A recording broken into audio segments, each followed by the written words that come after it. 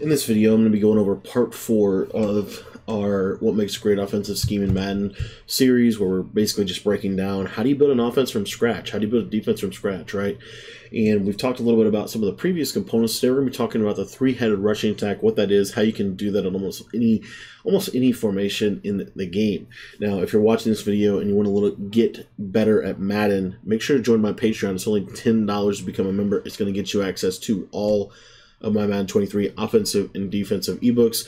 We've taken a lot of the work out of the game for you and kind of just given you the best of the best schemes over there. So if you want to become a member, it's only $10 to sign up. The link is in the description. We've got over 22 offensive and defensive ebooks. We're dropping a brand new ebook this week. So make sure that you get in the Patreon if you have not already.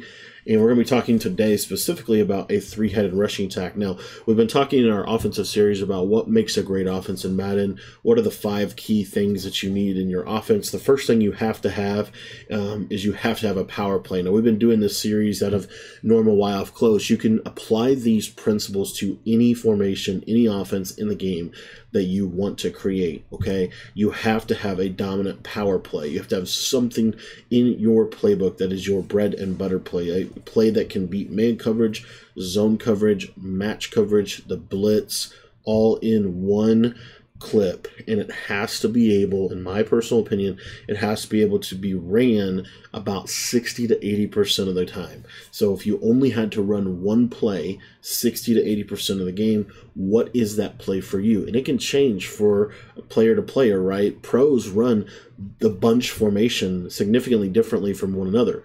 Um, but they always have a bread and butter play. So, what is that for you? And we talked about that in the normal Y off close. Our power play is going to be the Y sail because this corner route is really effective. That fade is actually pretty glitchy against zone. You have a backside dig that's really good. And then we can basically turn this into a really, really good and high percentage play. Now, the next question is what is your counter play? So, the area of the field that your power play attacks, ideally you want your counterplay to attack a different area of the field.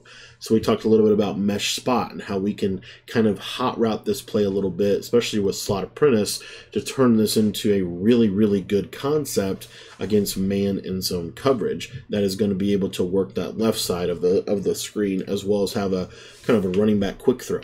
The third piece and the third key for an offense, you have to have what I call constraint theory plays.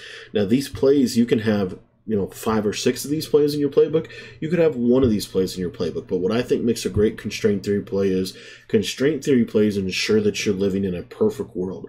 So if your opponent is always running is over committing their defense in one way or the other or if they're always running man or if they're always running zone or if they're always running match right then you can go to your match bomb. You can go to your zone beater. You could go to your man beater your blitz beater right?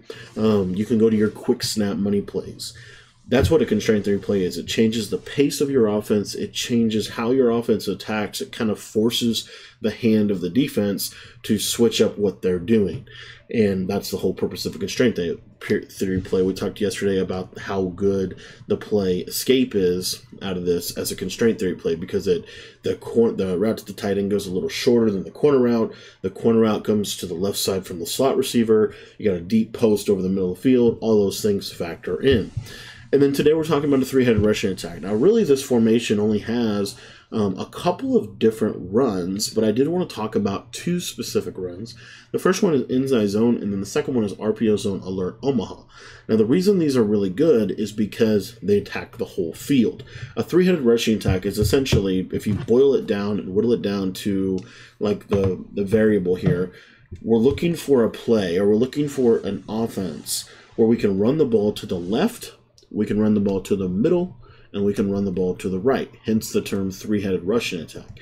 So, what we're looking to do with this inside zone is we're looking can we run this inside zone over the middle of the field? You see right here, if I cut the, the play up, then I can then attack the middle of the field. So, like, let's say they're coming out in dollar and they're giving me a good look a good look to run this i can run this inside zone inside right i can run the ball in the middle of the field but i can also run this inside zone as more of an outside run to the left side. As you see right there, it kind of can work as an off tackle run um, to the left side.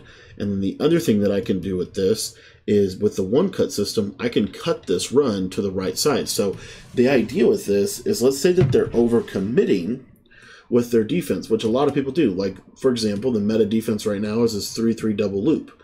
Um, you know, so if they do something like this, you know, now, yes, the edges are going to be defended really well, but now the inside should be fairly open, as you can see right there. So we can, you know, hit our inside zone for a couple runs. And the beauty of inside zone, especially with the one cut system this year, is you can actually cut this in a lot of different directions. You can run it as a off guard run to the right, off guard run to the left.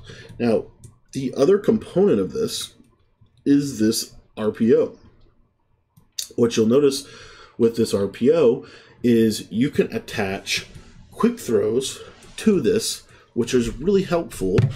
Let's say your opponent is running some cover four or whatever, and let's say that you know your little bubble screen can be an option. Now this bubble screen right here, um, a little bit different, but let's say for example, let me give you a little bit of a, an idea here what we can do with this. So let's say they give you a defensive look like this, and they're going to be sending pressure because they're trying to stop the run. So they do something like this. Okay, now your uh, bubble screen becomes a really good play for attacking the defense. Why? Because they're sending heavy pressure at us off of the edges. So these little quick, this quick bubble screen and this quick little um, out route to CeeDee Lamb are really good against kind of some of the meta things. Now, really what you're looking at here, in my opinion, is if it's a man coverage look, like let's say they press up in man, this route to CeeDee Lamb, a lot of times, you can just throw this out here against off man. Now, if they're pressing, probably not as good of an option, as you can see there. But if they're if they're not pressing, then I can throw that out there to CeeDee Lamb against man coverage and give myself a decent chance to be able to beat the man coverage that way. So the bottom line is can you run the ball to the left? Can you run the ball to the middle? And can you run the ball to the right? These are the things that make up a really dominant, in my opinion, rushing attack. And if you can do these things, you're going to get so much more bang for your buck out of your ground game. So you have to have the ability to run the ball to the left, to the middle, and to the right. Thanks for watching the video. If you want to get more, get all my ebooks, all that stuff, hit that Patreon link that's going to flash on your screen right about now. That will get you access to everything 10 bucks gets you access to all the ebooks and all of the updates as long as you're a member. So sign up for the Patreon. Thanks for watching. We'll see you next time.